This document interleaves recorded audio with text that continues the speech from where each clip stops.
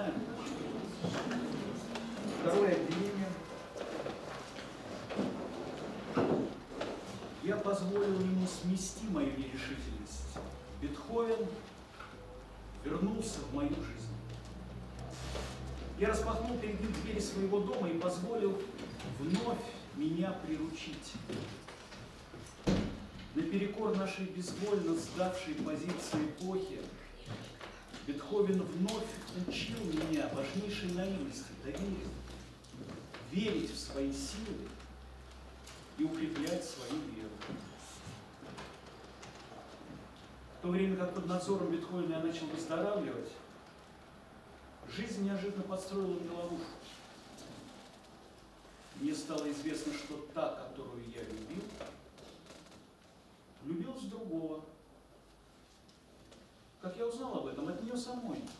Это было сказано тихо, без вызова, с решительной смелостью.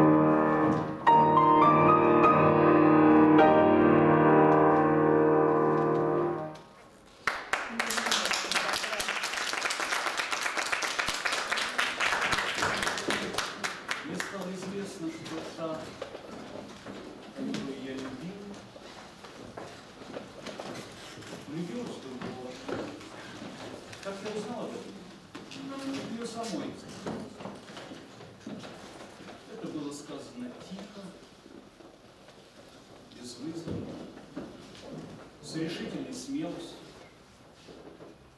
Это не было известие об уходе, это была констатация факта. Чтобы принять решение, я поднялся наверх. Писательский кабинет стал моим убежищем. Устроившись за столом, как будто бы я собирался работать, я задумался о том, что со мной произошло.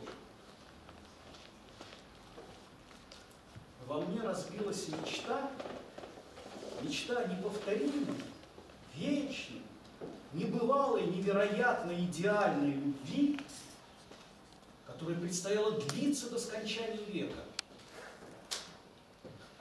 Пошлость этой возвышенной истории превзошла все пределы. Мы были такими же, как все. Через несколько минут я принялся писать. Поначалу, чтобы выйти из болезненного состояния, мне необходимо было излить свое страдание. Потом по наивности. А вдруг мои слова смогут преобразить реальность, создать иной мир? Я взялся за подробное письмо в десяти пунктах, благодаря которому все переменится. Затем до меня дошла вся нелепость затеянного. Нет, я не Бог и не творец собственной жизни. Нет у меня никакой власти даже над собственными страданиями. Разволновавшись, я отбросил записи и рухнул в кушетку. У меня потекли слезы. Я плакал, чтобы снова стать ребенком. Я плакал, потому что хотел верить кто-то придет меня утешить, и моя печальная прихоть удивительным образом изменит мир. Через два часа бесполезные колдовские уловки, писательство и рыдания были исчерпаны. Я понял, что наг и беспомощен, и не будет мне утешения. Тишина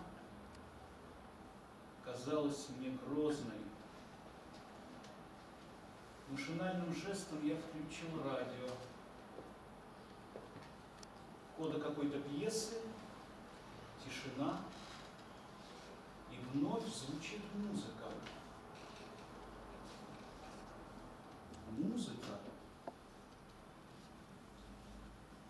это нечто большее, чем просто звук. Мы забываем об этом, учась в консерватории, но слушая ее наедине, ощущаем ее силу. Я ассоциирую себя с посмевшим шептать роялем, с его слабым побежденным звуком.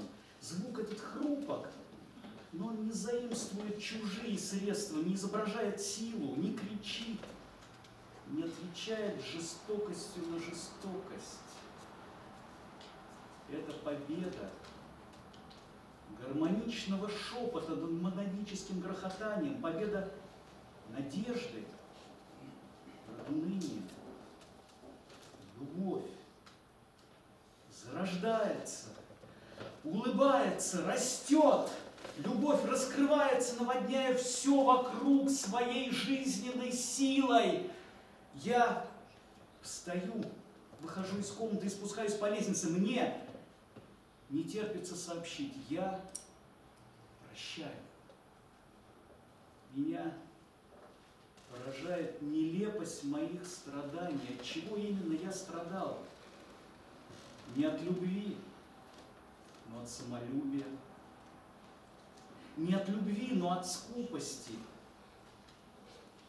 Не от любви, но от путаницы в мыслях. Другого любит не от того, что меня любят меньше, а потому что его любят иначе. Но возможно ли воплотить в себе все виды любви? Я прощаю. Бетховен очистил мои агрессивные порывы.